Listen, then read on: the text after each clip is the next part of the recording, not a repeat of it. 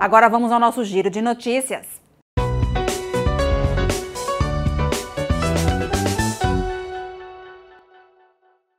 Oi, gente. A comarca de Várzea Grande divulgou o resultado preliminar do processo seletivo para estagiários de direito. Então, se você é um dos candidatos, não perca tempo e veja se o seu nome está na lista que está disponível em nosso portal de notícias. O juiz auxiliar da Corregedoria Geral da Justiça de Mato Grosso, Otávio Peixoto, participou em Brasília do terceiro Encontro Nacional dos Juízes de Cooperação.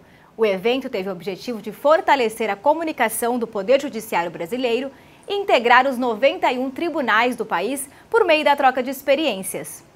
E como parte das ações de comemoração da Semana do Meio Ambiente, o Juizado Volante Ambiental realizou uma palestra para estudantes do ensino fundamental da Escola Adventista no bairro Porto, em Cuiabá. A equipe do Juvan também fez a distribuição de 200 mudas de árvores frutíferas e nativas. Um importante trabalho para a conscientização ambiental. Legal, né? E por hoje é só. Bom fim de semana a todos.